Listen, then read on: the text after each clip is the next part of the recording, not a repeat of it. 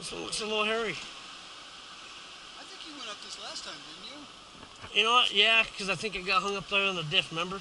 Yeah, and you because the big waterfall's up ahead. Okay. Is that where he did the pirouette? Yes, I did. Okay. Guess I'll have to do that big waterfall to get the hell out of here, huh? Well, we're gonna try and go around it. Okay. Okay.